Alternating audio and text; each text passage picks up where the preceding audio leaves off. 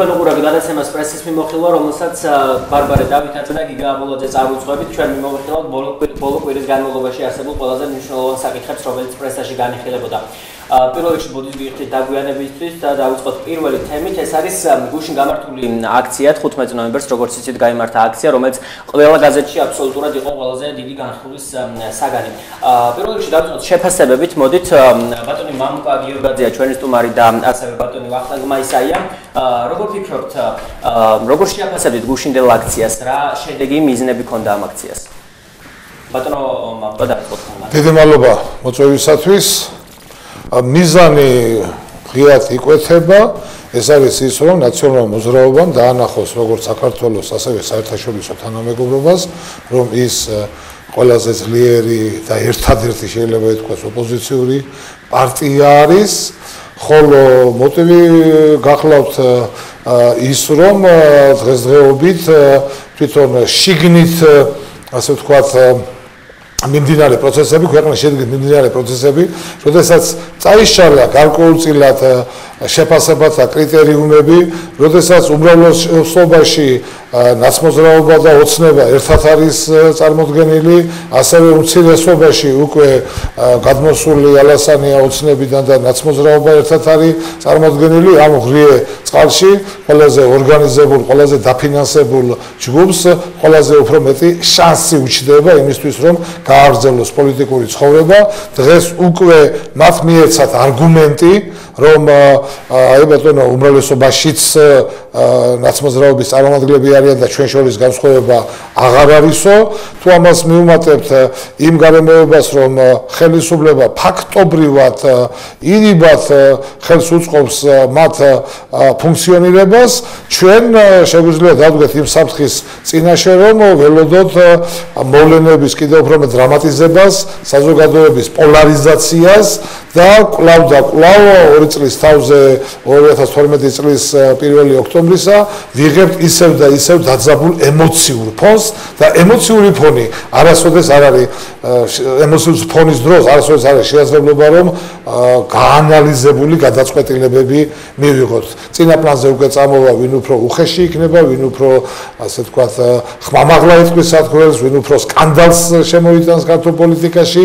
აი ჩვენ ეს ყველაფერი ასე ვთქვათ 15 ნოემბერმა ეს სეზონი გახსნა და ალბათ უახლოეს მომავალში კიდევ ბევრ საინტერესოს ამ კუთხით გვირდება, რაც ქვეყნისთვის ნამდვილად არ იქნება სასაცილო. თქვენ ფიქრობთ, რომ იქნება კიდევ ესეთი შეკრებები?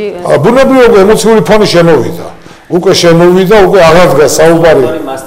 მასტიმულირებელი ფაქტორია, უკვე აღარ არის საუბარი იმასთან დაკავშირებით, რომ რაღაც კონცეფციებზე ვიმსჯელოთ, თავისთავად ის რომ ნაცმოძრაობა ბედავს და აფხაზეთის თემაზე საუბრობს საზოგადოებასთან და აფხაზეთის თემის იდენტიფიცირებას აკეთებს საკუთარ თავთან და ასე ვთქვათ აფხაზეთის და ცხინვალის და დამოუკიდებლობის თემებით დეოკუპაციის მანიპულირებს. ანტიანექსიას იყენებს ეს იმას ნიშნავს რომ საზოგადოებას უკვე ხელისუფლებაზე არაფერს აღარ ვამბობ რა ჯერ ესეთ ხელისუფლება მომზრუნველყო ისინი ამ არგუმენტაციით, ხოლო საზოგადოებას როგორ ჩანს მათ შეატყვეს, რომ აი ეს ფრაზები და ეს ასე ვთქვათ შინაარსი ამ ფრაზებისა ატროფირებული აქვს და მეძროშეობას იღებენ თავის თავზე იმ საკითხებისა, რომელსაც სულად საპირისპიროდ ახორციელებენ.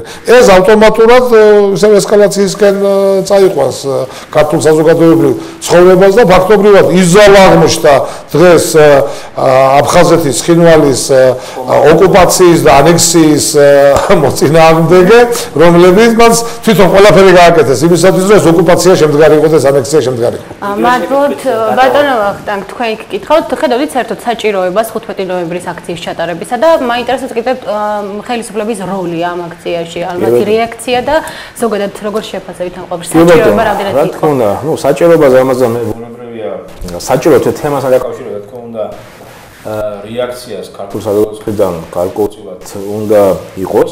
არა მეორე ხედავ აქ ნაციონალიზმის ასე ვთქვათ საჭიროა რომელიც გამოიყენებს პოპულისტური მიზნებისათვის და განაცხადა სრული ფიასკო. მე მინდა გითხრათ რომ გუშინდელი მათი ასე ვთქვათ შეკრება ეს იყო აი ასეთი საზოგადოებრივი აქციისათვის ძალიან დიდი ზიანის მე ვთქვათ მომნიჭებელი. ანუ მათ ფაქტურად ზიანი ზიანი მიაყენეს თვითონ ესე ვთქვათ აი იმ რეაქციას, რომელიც რეაქციაც უნდა ყოფილიყო ქართულ საზოგადოების მხრიდან გამოჩენილი. შესეც იმიტომ რომ ამ ამ თემატიკით სპეკულირებენ ის ადამიანები. რა გქონდა ანუ საზოგადოება არ უნდა გასულიყო ამ აქციაზე თუ სხვა რეაქცია უნდა ქონოდა. პირიქ პირიქით მოვა, რომ უნდა გასულიყო ეს შესაძლოა მაგრამ უნდა გასულიყო და რეაქცია უნდა ყოფილიყო მთელი ქართული საზოგადოების. არ აქვს მნიშვნელობა ეს საიდან დაწყებული უნდა ყოფილიყო, მაგრამ ის რომ ყველაზე მე ვიტყოდი ასე ვთქვათ გამოფიტულმა ძალამ. ფაქტიურად რომლებიც ფაქტიურად არიან ახლა მე რა მინდა ველაპარაკობთ რა ნაფსე ეს არის პოლიტიკური გვამის მიერ გამოცხადებულმა რომელიც წარმოადგენს მოძრაობა გამოცხადებულმა ამედიან ფაქტიურად მიაყენა ზიანი თვითონ აი ამ მე ვიტყოდი სიმბოლოს რომელიც ჩვენ რეაქცია საზოგადოების მხრიდან კვეთე რეაქციაზეა საუბარი. ანუ მათი მხრიდან აი ამ ასე ვთქვათ იდეების манипулирება ჩვენ ახლა ფაქტიურად მაცმოძრაობის ეგიდით საზოგადოება არ გამოვიდა და ას არ ქონდა ამას ეს კოცი ის რეაქცია რომელიც ყოფილიყო მართლა ქართული საზოგადოების მხრიდან. თუმცა მართლა ჩვენს წინაშე დგას რეალური საფრთხე. გამოხმაურება ამ აქციას როგორც ასეთი საზოგადოების მხრიდან არ მოყოლია. არ მოყოლია, ბუნებრივია და არ მოყოლია იმის გამო, რომ ეს იყო მანიპულირებადი ნაცმოძრაობის მიერ.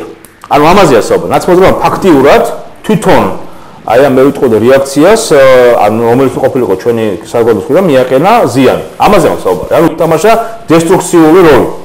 იმიტომ რომ ნაცმოძრაობის ეგიდით ბუნებრივია ხალხთა მასები არ გამოუდოდა და გუშინმა დღევანდელ გუშინმაც აქციამაც აჩვენა რომ ფაქტიურად ну დაიწყო 5 საათზე დასრულდა 6 საათზე. მაგრამ საკმაოდ ბევრი ხალხი. ბევრი ბევრს მე ვერ ვხედავდი ბევრი ხალხი იყო იქ რა. ბევრი ხალხი ამთავრ იყო იმის ფონზე რაც უნდა ყოფილიყო ესეც. მე მგონი ბევრი არ იყო, მაგრამ 1 საათიანი მიტინგი როცა იშლება ასეთ ესე იგი ესეც ხალხს უსე არა. ეხლა ჩვენ თუ უყურებთ ჩვენ თუ შევაფასებთ რუსთავი ორის ასე ვთქვათ ტელეხედვიდან რუსთავი ორმა ასე ვთქვათ ჩვენ ვიცით რომ წაგებული ომი მოგებული ომად გამოაცხადა. ხო ახლა მე რუსთავი ორი არ მაქვს საუბარი, იმიტომ რომ ტელეკომპანიას სათავეში როცა უდგას ყოფილი ჯალათი და ყოფილი ის ადამიანი რომელიც პოლიტიკურ დამნაშავეა, რომელიც უშუალოდ მონაწილეობდა 7 ნოემბრის დარბევაში, და იყო იმ ძალოვანი სტრუქტურის ხელმძღვანელი და იდეოლოგი.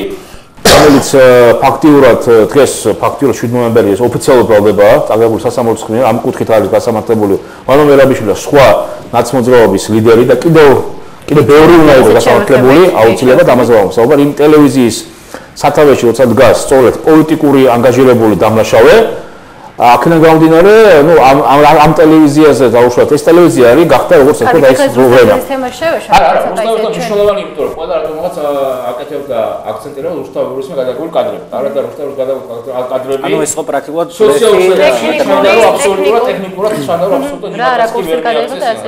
თქვენ რა ინფორმაცია გაქვთ, რამდენი ხალხი იყო? მე ინფორმაცია მაქვს საკმაოდ დაბალი იყო, ასე ვთქვათ, თვითონ ამ იმ მათი მომხრეების მონაწილეობა, ბევრი მომხრეები გაიქცნენ.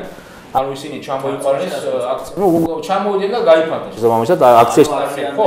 აი, მაგაზე მე გითხოთ, როგორ ფიქრობთ, ესენი ჩამოვიდნენ თავიანთი ნებით აქტივისტები, თუ იყო საუბარი, ალბათ გიგა დამეთანხება, ჩვენ გადავაწყით აქ ესეთ ინფორმაციას, რომ თანხებთან დაკავშირებით. კი, რა თქმა უნდა, ჩანდა. 15-40. კი, კი, იმიტომ რომ იქ დაუშვან ახლა მე მე არ მინდა დავლაყო თბილისელები და სხვა სხვა რეგიონში ჩამო, მაგრამ არ არ ჩანდა რომ ესე იგი ხალხთა ხალხის ნაკლებობა აშკარა იყო.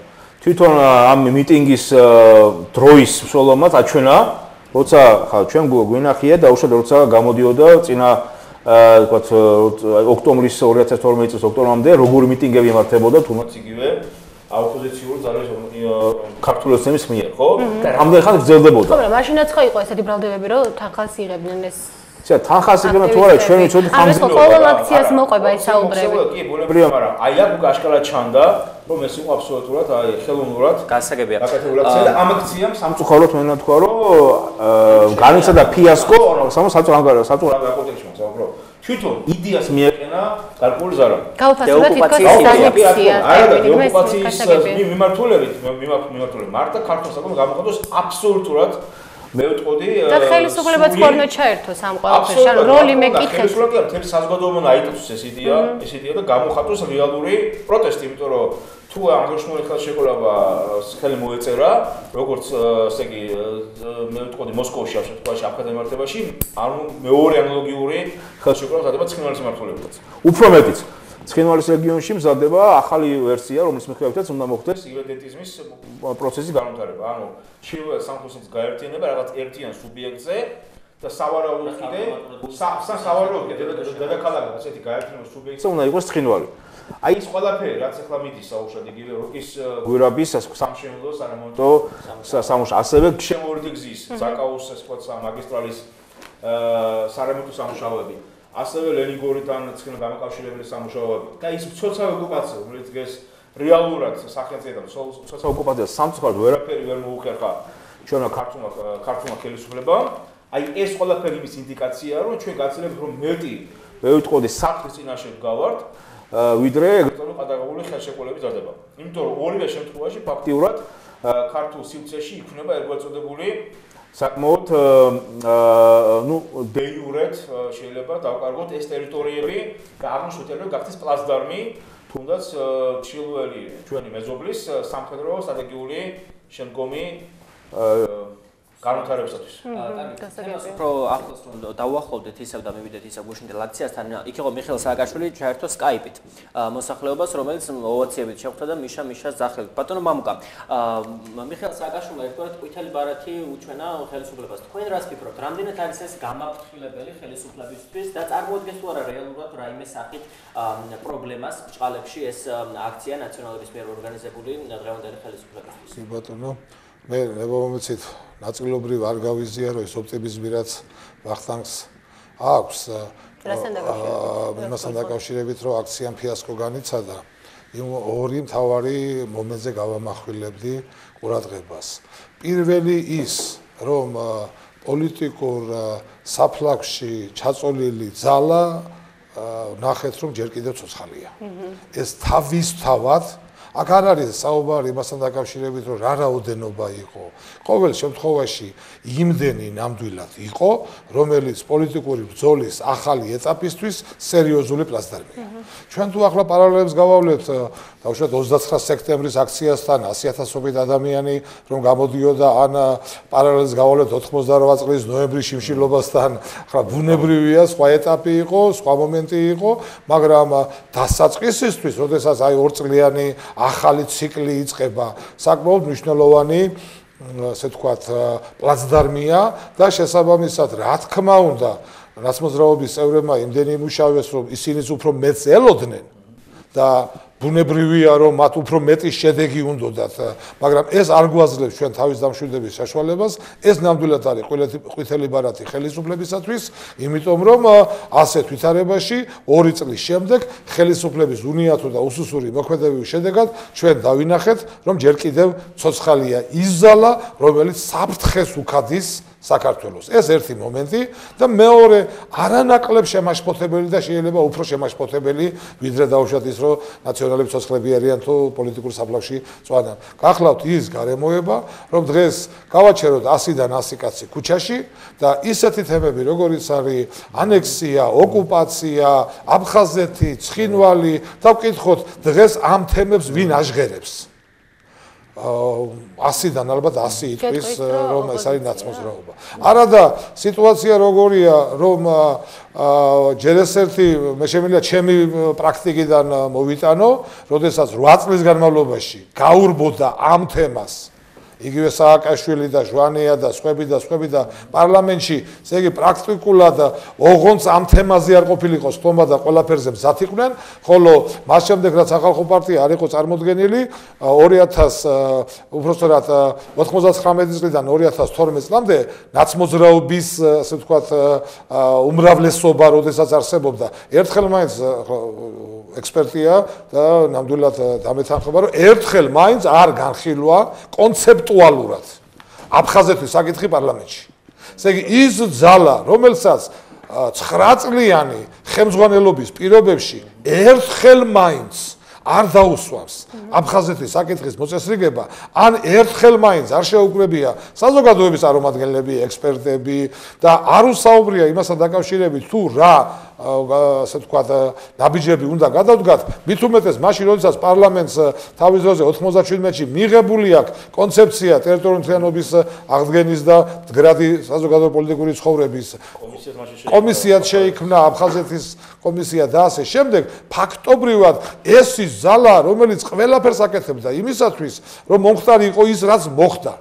და ამ დროს ეს არის ასე ვთქვათ იდენტიფიცირებული დღეს აფხაზეთთან დეოკუპაციასთან და ასე შემდეგ და ალბათ დამეთანხმებით რომ მრავალი გულურყვილო ადამიანი რომელიც ასე ღრმათ არ არის ჩახედული ამ საქმეში შეიძლება მივიდა კიდევაც ამ აქციაზე და ეს ადამიანები გამოყენებული იქნა ნაცმოძრაობის სასარგებლოდ. იმდენად არიან ესე იგი ეს ხალხი ნაცმოძრაობა რომ ერთი ხო შეიძლება ვიღაცა უცხო კაცი გამოეყვანოს ანუ იციან სუსტი წერტილების ადრე. რა თქმა უნდა ესე იმდენად არიან ეგოისტები რომ თვით ამ თემაზეც კი იქ მყოფი რომელიმე მეტნაკლებად ცნობილი თუ უცნობის სახე რომელიც გულწრფელად მივიდა აქციაზე ის მაინც გამოეყვანა რომ ეთქვათ რომ არა ჩვენი პარტიული აქცია არ არის. ესეც კი არ გააკეთეს. სწორედ სწორედ აქ არის პრობლემა და ეს უკვე აღარ არის მხოლოდ და მხოლოდ ყვითელი ბარათი. ეს არის სერიოზული გაფრთხილება ხელისუფლების. აი სწორედ ამიტომ ამით ისარგებლა სააკაშვილმა. სააკაშვილი შეიძლება იმას მოწონდეს. ანუ გავიგეთ რომ საზოგადოება ისევ თბილად ხვდება სააკაშვილს, იმიტომ რომ ერთი და ორი კაცი აი ყველა თითქმის ერთხელ ეს არის ერთი რა საზოგადოება. აქ უკვე არის აფხაზეთი და ანექსიის და გეთახმებით, იმიტომ ხო არ არის საფრთხე იმისა რომ იმიტომ რომ გარკვეულ წილად სააკაშვილმა და ამაში ალბათ უნდა დამეთანხმოთ მარტო ის რომ ესე იგი 9 წლის განმავლობაში გიჟია და სულელია ეპიტეტებით ვამკობდით იცის პოლიტიკური ცხოვრება. აჰა. იცის ის ნაბიჯები, რომელიც უნდა გადაიდგას და შესაბამისად მისი ენერგია, მისი ცოდნა მდგომარეობის გამოყენების და ეს ყოველივე საშუალებას აძლევს გარკვეულწილად манипулირება განახორციელოს. სააკაშვილის რომ არ ყოფილიყო აფხაზეთის თემა, ამ ტონით ვერ ისაუბრებდა, მაგრამ გამოიყენა ამ დროს გავიდეს თუ არა ორი რამ არსებობს ამისთვის. რეალურად აწუხებს ეს პრობლემა და წინააღმდეგი არის იმისა, რომ რეალური პრობლემა არის ეს, ხო, ანექსია. ორი რამ არის ამისთვის საჭირო. პირველი არსებულმა ხელისუფლებამ კეთილი ინებოს და შესაძლებელი გახადოს ჯანსაღი საზოგადოებრივი პოლიტიკური ცხოვრებაში ყველა დაინტერესებული ადამიანის ჩართვით ერთიანი ეროვნული კონსენსუსი გამოიმუშაოს და ერთიანი კონცეფცია აფხაზეთის და ცხინვალის საკითხებთან დაკავშირებით ეს ერთი და მეორე თუ ხელისუფლება ამას არ აკეთებს მაშინ საზოგადოებამ თავის თავში უნდა არა მარტო არ არის. საზოგადოებამ თავის თავში უნდა მოძებნოს ზალა და ღირსეულმა ადამიანებმა უნდა გააკეთოს ის რომ ერთის მხრივ ამხილოს ნაცმოძრაობის ეს მისი ავანტურისტული ბუნება და მეორეს მხრივ სულებით არ არის საჭირო ველოდოთ ვაცადოთ და ასე შემდეგ. მაშინვე მან უნდა ამოუყოს ყვითელი ბარათი ხელისუფლებას და მთავრობას და არ მიცეს ინიციატივის აღების საშუალება სააკაშვილს, იმიტომ რომ ეს ჯგუფი ადამიანებისა მთელი ამ 20 წლის განმავლობაში ჩამოყალიბდნენ პროფესიონალ მებრძოლებად. ახლა ჩვენ გინდა ცუდი თქვა, გინდა კარგი თქვა და შესაბამისად არ გაპატიებს არც ერთ შეცდომას და სააკაშვილი გამოვიდა კიდევაც და რომ არა მისი ასე თქვა ლექსიკიდან ის ორი სიტყვა რომელიც ვერ მოიშალა ამ ადამიანმა ეს უკვე სხვა ასე თქვა მისი ერთ-ერთი თვისება დანარჩენი საკმაოდ აკადემიური სერიოზული გამოსვლა აი გაბანძება და დაჩმორება ვერ მოიშალა ამ კაცმა იმიტომ რომ მაინც რჩება იმად რაც იყო. სანამ გადავალთ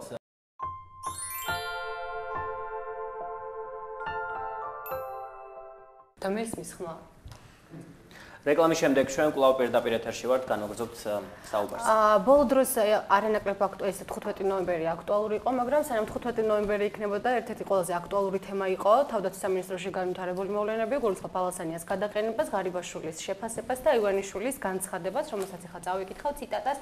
ივანიშვილი ამბობს დავიპირისპირდები ყველას ვინც შეცდომებს დაუშვებს მე ვუთხარი ირაკლის არ არ გიღირს ის ასეთ სიტუაციაში თავმჯდომარედ არჩევა მეთქი. კაბელების საქმე პოლიტიკურად ანგარიჟებული რომ ყოფილიყო თავდაცვის მინისტრის დაბრუნებას. პირიქით დაელოდებოდა ის პოლიტიკოსი ვინც დაუკვეთა. სად ეჩქარებოდა რისთვის გადაირიცხა ამ ხელა თანხა მე ვუწუნებ პოლიტიკურ სიმწიფეს ღარიბაშვილს მაინტერესებს თქვენი შეფაზება. ამასთან დაკავშირებით და მაინტერესებს კიდე ეს არის გულწრფელი კრიტიკა თუ რა არის ამ ყველაფერში ჩადებული გული მაინტერესებს. ბატონო ბაბუკა თქვენი რა თქმა უნდა ამ შემთხვევაში გულწრფელობაში ნამდვილად ეჭვის შეტანა ცოტა რთულია იმიტომ რომ ფაქტობრივად ეს კაცი რასაც ფიქრობს ხშირად იგივეს ლაბარაკობს ტელევიზიით და არ ერიდება ამას რომ თქვას და აქედან გამომდინარე ეს ერთი მხრივ და მეორე მხრივ ახლა ის ლექსიკა რაც პრემიერ-მინისტრმა იხმარა აშკარად არ იყო ის რაც დღევანდელ დღეს შეიძლება მოიწონოს ქართულ საზოგადოებას და ესეც იგზნო და ბუნებრივია.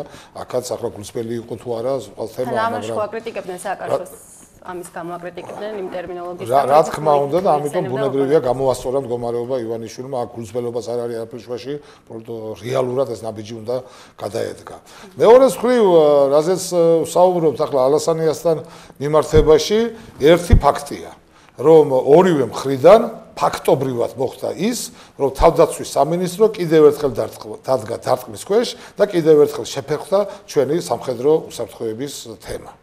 ეს ფაქტია, არ გაუფრთხილდა ამას. არც ალასანია და ბუნებრივია არც თავრობა უფრო მეტი პასუხისგებლობა ამ შემთხვევაში ვიზი არის ეს საზოგადოება მის მიხედვით განსაჯოს ვინც რომელი პოლიტიკური ძალის მომხრია მაგრამ ფაქტი ფაქტად რჩება რომ ალასანიამ გადაიყვანა სამართლებრივი დავა ასე ვთქვათ პოლიტიკურ სიბრწყეში. მაგრამ ისევ სამართლებრივთან რომ დაუბრუნდეთ, ბატონო ვახტანგ, თქვენ რას ფიქრობთ, რამდენად მიუკერძოებელი იქნება ამ შემთხვევაში იგივე პროკურატურა თუ სასამართლო, იმიტომ რომ რეალურად თავისუფალმა დემოკრატებმა კითხვის ნიშნის ნიშნის ქვეშ დააყენეს ამ ორგანოების დამოუკიდებლობის ხარისხი. დავიკითხოთ ციტატას ამაგასთან დაკავშირებით ალასანიერას წერს, არ მაქვს ილუზია, რომ თავარი პროკურორი დამოუკიდებლად იმოქმედებსო. უსანა მე გავსენ პასუხი ბატონ მომგავს დავეთან ხო წინა შეფასებაში ეს ხელოსნო გაუშვა ხელენ სადავები და შეგამას უნდა აიღოს ინიციატივა და გააკეთოს მასობრივი პროტესტი იმ პროცესთან რაც ახალ ეცნობის მართულებით არის აბსოლუტურად სწორი ქონებაა და თუ არა საზოგადოება გამოხდოს თავისი კონკრეტული შეფასება ამასთან დაკავშირებით. ხო შემთხვევაში ის რომ საერთო საზოგადოების წინაშე ჩვენ გვაქვს კონკრეტული არგუმენტები ამის გასანეტრალებლად. რაც შეეხება აღნიშნულ თემას დავუბრუნდეთ. რა თქმა უნდა, დღეს ჩვენ ვცდილობთ რომ ვიყოთ ფორმალიზირებულ სამართლებრივი სახელმწიფოს ფორმატში მოვქონოთ, მაგრამ სამწუხაროდ ჩვენთან აგრეთვე არ შემდგარი ქვეყნის სინდრომით მივდივართ. საქმესთან არ შეიძლება ჩვენთან პოლიტიკურ პროცესებში რომ აღლა ასე ვთქვათ უფრო პოლიტიზაცია პოლიტიზაცია ნაკლებად მაღლა ვიდრე სამართლებრივი გარემოს პარამეტრები. სამწუხარო ფაქტია, მაგრამ ეგრეა. და ეს ფაქტიც ამის რეალური დადასტურებაა.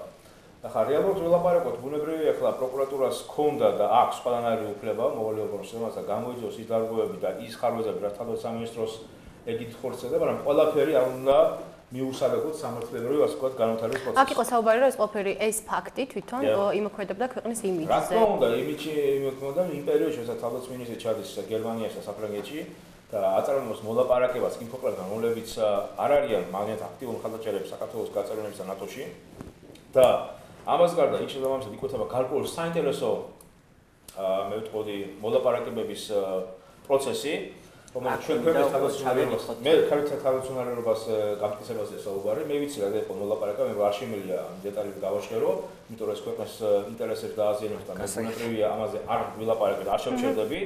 მაგრამ საკმაოდ სერიოზული საუბრები მიდიოდა. მე მინდა გითხრათ რომ საკმაოდ საკმაოდ სერიოზულ თემებს ეხებოდა ამ შუა მოლაპარაკებები და აი ამის ფონზე ეს შემიძლია მე ხო დავმარტო და ეს თვითონაც განაცხადა ბატონო ილაკიასანიამ და სხვა ექსპერტებმაც ამასთან დაკავშირებით, ვინც არიან გაცნობიერებული და რაში იყო საქმე, ანუ რა მოლაპარაკებები მეროდა პარიზსა და ბერლინში. აი ამის ფონზე სამომავლო როცა ხდება ხელოვნურად პირველი 1 2 3 და მე მეოთხე საქმის წარმოწევა, ხო, ერბაშად, ხო? თქვენ გაუნდა მეორე საქმეში, რომელიც ხდება ჯარისკენ მოწევის მოწამულ საქმეში, სასამართლო ფაქტიურად არ უკვეთავს იგივე პროდაბულებს აკუთის საპატრონო აკუთის ზომას. თვითონ პროკურატურასაც არ მოუთხოვია. ხო, ქილაო მოითხოვა. ხო, საინტერესო მომენტია, ესე იგი, იქ უკვე არსებობს კითხვები. მე ასეთი ეს დაამბა. პირველთან დაკავშირებით, პირველ საქმეთან საქმეთან დაკავშირებით, უწებული კაბელების ამ არქივთან დაკავშირებით, რა თქმა უნდა, არის ძალიან ბევრი კითხვები, თუმცა ის რომ გრიპით საიდუმლოს ახსნა არ ხდება. და ესე უბრუნდებით იმ გაჭიანურებულ პროცედურას, როცა დაუშვათ იგივე ორივე ძალოვანი სტრუქტურა, პროკურატურა და კონსინადა სასამართლო კონტროლ დეპარტამენტი ერთმანეთს მიუხელით მიუთითებენ. ეს საქმის აღძრო არის ობიექტური და სამართლიანი? ეს ობიექტური სამართლიანი შეიძლება ნებისმიერ საქმის აღძრო იყოს. უნებრივია და ამის რეალური სერვისი აბსოლუტურად არ შეგვიძლია, როცა პროკურატურა თვითონვე აკეთებს ტორპედირებას და არ ხდის ამ საქმის ტრანსპარენტულობას, როცა ამას გააჩნია საზოგადოებრივი მაღალი ინტერესი, აი ამაზე საუბარი. და ამ საქმეში, ამ პროცესში არავითარი სამხედრო საიდუმლოება, როგორც სამხედრო ექსპერტი შეიძლება გითხრათ, არ არსებობს, არ იყო. ჯერსეთის თავიდანვე იყო ერთგვარად შეცდომა, რომელსაც დაედო თავის 33 მია გრიბით საიდუმლო, მაგრამ როგორც მე ჩავეძიე თვითონ ჩვენი საკანონმდებლო, ასე ვთქვათ, კანონმდებლობა არის ძალიან ხარვეზებით სავსე. ანუ ჩვენ გადმოვიღეთ საბჭოთა ევიტყოდი ძალიან ძველი კანონმდებლობის სრული პაკეტი.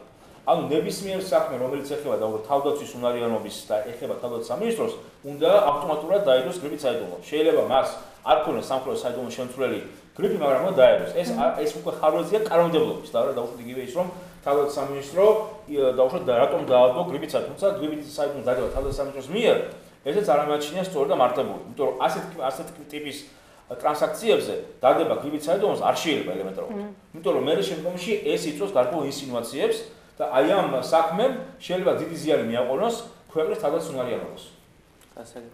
აა მე გავაგზავნებ ახლა შემდეგ თემას. აა ირაკლი ალასანიას გათავისუფლებასთან დაკავშირებით ასევე სოლიდარობა გამოუცხადა მისმა გუნდმა, გულისხმობს საგარეო საქმეთა მინისტრმა და ასე შემდეგ. კიდე თანამგუნდელებმა წავიდნენ გამოიყვნენ ოცნებას, ანუ ხელისუფლებას. იყო ასევე საუბარი, რომ მოსალოდნელი არის რესპუბლიკელებიც შეუერთდნენო და რამდენად მოსალოდნელი არის ეს ყველაფერი და გაერთიანდება თუ არა თავისუფალი დემოკრატები და რესპუბლიკური პარტია. არის ამის ბატონო მამუკა. სანამ ივანიშვილი არის კეთილდღეობის გარანტი ქართული ოცნების თვითოული პარტიისთვის, მანამდე არ მოხდება კოალიციის შიგნიდან რაიმე პროცესი და თუ მოხდება, ყველამ ძალიან კარგად ნახეთ, მეორე დღეს ირაკლი ალასანია თავისი ფეხით ეახლა ისევ ივანიშვილს და მისგან მიიღო რაღაც დარიგებები, რჩევები, რა ყოველ შემთხვევაში ჩვენ არ ვიცით. აქედან გამომდინარე, შეგვიძლია ვთქვათ, რომ ისე როგორც პრაქტიკა ახლა ახსნა მახსენა საბჭოთა პერიოდის გამოცდილება. 25 წლოვანი გამოცდილება გვაქვს. როდესაც ასეთი უმრავლესობით მოდის ხელისუფლებაში ძალა შემდეგ გარკვეული პერიოდის მერე იწყება შიგნით პროტესტი როდესაც პირველი პირი აღარ არის კეთილდღეობის გარანტი. მერე უკვე მთელი ეს ძალა მეორე ასე ვთქვათ პირს მოსულს ხელისუფლებაში მზითვად მიყვება და გადადის და საბოლოო ჯამში თლიანად ითქვიფება ახალ ძალაში. ეს უბრალოდ ეს პროცესი არის. ამჟამად და გამონაკლისი არც რესპუბლიკელები არიან, რადგანაც თავი და ბოლო ამ საკითხის დგას ასე, რომ თუ ჩვენ გვინდა ჯანსაღი დასავლური დემოკრატიული ცხოვრება, მაშინ კოალიციები უნდა იქნებოდეს პრინციპებზე. და გვითხრას ანალასანიამ, რაში გამოიხატება პრინციპებიდან გადასვლა, გადახვევა მთავრობის, ამ მთავრობამ გვითხრას, რომ რაში გამოიხატება მისი მხრიდან ამ პრინციპების დაცვა. მთელი უბედურება სწორედ აქ დგას და როდესაც ერთ არაფლის გამკეთებელი მინის, მეორე კიდე უფრო უარესი არაფლის გამკეთებელი მინისტრის, მე საგარეო საქმეთა სამინისტროა ამ შემთხვევაში ხელმძღვანელობაში ფაქტი მითხარით, ნუ ელემენტარულად ერთად-ერთი დაუშვა დასავლეთ იმას ევროკავშირთან ასოცირების ხელშეკრულების ხელმოწერა, რომელიც არის უფრო მეტად ინიციატივა ევროკავშირის, რომელმაც წინახევრით გადმოწია. ეჭვი შეიტანა ეს არის წინახევრამდე ვერ მივლენო ეთქობა იფიქრა და წინახევრით გადმოწია ხელშეკრულება აქი და ამიტომ აღმოჩნდა ზაკალიანის თუ სხვის ხელმოწერა. მასზე ეს ერთი მომენტი სრული ჩავარდნა. ევროსაბჭოში იმიტომ ჩვენ ორი წლის განმავლობაში ღებულობთ ამ რეზოლუციებს სრული ჩავარდნა ევროპის ყველაზე მსხვილ პარტიასთან ევროპის სახალხო პარტიასთან რომელთა დარეგულ საკითხის დარეგულირება პრობლემა არ არის და რომელთანაც უდიდესი გამოცდილება აქვს საქართველოს პოლიტიკურ პარტიებს და მათ შორის დაუშვათ იგივე საქართველოს სახალხო პარტიას და არანაირ სირთულეს არ წარმოადგენს მათთან დარეგულირება საკითხის თუ გაქვს პოზიცია და ელემენტარულად ევროკავშირთან მთლიანობაში ამდენი ხნის განმავლობაში ვერ მოხერხდა და რაც ყველაზე მნიშვნელოვანია ამ ქმედებებმა განახორციელა ის რომ ქართული საზოგადოება აი ვახტანგ დამეთანხმება რომ თამაში რომ 20 წლის წინ 15 წლის წინ 10 წლის წინ 5 წლის წინ უფრო მეტად ესწრაფოდა ეგრეთ წოდებული იმ დასავლური ღირებულებების დამკვიდრება საქართველოში ვიდრე დღეს ეს სწორედ ნაცმოძრაობის დამსახურება და ორი წელიწადი ოცნებამ ამას ხელი შეუწყო და უბრალოდ წარმოვიდგინოთ ახლა ჩვენ რომ როგორ უნდა დაილაპარაკოს გერმანიის საგარეო საქმეთა მინისტრი ბრიტანეთის, ესპანეთის, ამერიკის თუ რუსეთის ბერუჩაშვილს რომელიც ყველამ დაინახა საათში ერთხელ როგორ იცვლის პოზიციას, რომელიც იყო ყველა მთავრობაში, რაც კი არსებობდა, დამთავრებული, დაწყებული, რა ქვია, კომუნისტური პერიოდიდან, რომელსაც ახლა კი არაფერი არა, მაგრამ ამ ინსტიტუტთან საწინააღმდეგო, მაგრამ თემნო სოფლიო მისის პატრის ლუმუმბას უნივერსიტეტი, აი ექსპერტია ჩემზე კარგად იცის ეს თემები, ბატონ ვახტანს კითხეთ, რას ნიშნავს ლუმუმბას უნივერსიტეტი და ახლა ელემენტარულად ეს იმას ნიშნავს, რომ საქართველოს ღია დეკლარირებას აკეთებს არაფრის გამკეთებელი არ ვარ მე საქართველოს ინტერესების დასაცავად საზღვარგარეთ. აი აზრებს ერთი მხრივ. სააკაშვილსაც კარტბლანს და ну ბუნებრივია მათი მხრიდანაც როგორ ვიქნები თანანახი ალასანიას და თავისუფალ დემოკრატებს ბატონმა სოსო ცინცაძემ გაზეთ რეზონანსში ეს სტატია გამოქვეყნებული. განაცხადა რომ მომავალ არჩევნებში რესპუბლიკელები და თავისუფალ დემოკრატები ერთ ძალად გაერთიანდებიან. ბატონო ვახტანგ თქვენ რამდენად ხედავთ იმის შესაძლებლობას რომ რესპუბლიკელების და თავისუფალ დემოკრატების გაერთიანება მოხდეს და რა კარგი მომენტი რომ ეს ორი ძალა პოლიტიკურ გაერთიანება სულისკვეთებს არიან თანთამდები აბსოლუტურად არის საგებური მოკავშირეები იმიტომ რომ ფაქტიურად მათი იდეოლოგიური პლასტი მათი ბიზნესები ამოცანები და მათი საგარეო პოლიტიკური კონცეპტუალური თანხმობა არის აშკარა და იდენტური. მაგრამ მიუხედავად იმისა, რომ შესაბამისად მათ გააჩნიათ აბსოლუტურად აი გაჭრილი ვაშკესავად ორი აბსოლუტურად იდენტობა, საერთო იდენტობა, ამის მიუხედავად ბუნებრივია ჩვენ ხედავთ რომ გავუშვათ როცა თავისუფლ დემოკრატ გამოვიდნენ კოალიცია რესპუბლიკების დარჩენა და კიდევ უფრო გაიმყარეს თავის პოზიციები. მე ყოველას საბჭო დამჭ. ეს განხეთქილება შეიძლება იყოს ამ მოკავშირეებში. ისე განხეთქილება მოკავშირის ვისთან შორის. რესპუბლიკა თავისუფალ დემოკრატებს გულს. ისე განხეთქილება მათ შორის ამ შემთხვევაში არის პოლიტიკურ ასე ვთქვათ ფორმატში, ანუ რესპუბლიკების დარჩენა თავისუფალ დემოკრატებს გატოვეს, მაგრამ იდეოლოგიური კიდევ საკუთარ პოლიტიკური და პოლიტიკურ პატრონობის და მათი თავისუფლება არსებობს. ის რომ დავით უსუფაშვილი მივიდა დაესწრო თავისუფალ დემოკრატების ყრილობას ეს ამის რეალური დადასტურება. ანუ მათ საერთოდ მოკავშირე აკავშირებს, მაგრამ არ ამიტომაც რომ ისინი გაერთიან ერთ კოალიციაში. იმიტომ რომ ჯერჯერობით ორივე პარტიას არ გააჩნია იმდენი რეიტინგი ამერიკას საზოგადოებაში, რომ მათ ერთობლივი ძალისხმევით დაუშვათ მიაღწიოს იმ შედეგს, რასაც მათ მიაღწიეს კოალიციის ფორმატში. გასაგებია. შემდეგი საკითხი, რომელიც ასევე საკმაოდ აქტიურად განიხილებოდა ჟურნალ გაზეთებში, ეს იყო გოგოლა ჟვანიას განცხადება ამ სტატიასაც გაზეთი რეზონანსი აქვსებს, სადაც ის ამბობს, რომ ზურა ჟვანიას გვამის ექსგუმაცია მალე მოხდება და ამ ფაქტს შეიძლება დაუკავშიროთ ასევე მისი ერთ-ერთი ექსპერტი, რომელიც ზურა ჟვანიას საქმეში მონაწილეობდა, გარდაცვლილი იპოვეს. ბატონო მამუკა, თქვენ რამდენად ფიქრობთ, რომ შეიძლება რამე ახალი დეტალები გამოიკვეთოს ჟვანიას საქმეში და რამდენად არის ეს მოსალოდნელი იგივე ამ ხელისუფლების პირობებში? პირობებში. ჟვანეა საქმე არ არის მხოლოდ და მხოლოდ ერთი კონკრეტული მოვლენა ან ერთი კონკრეტული რაღაცა ისეთი ქმედების გამოძიება.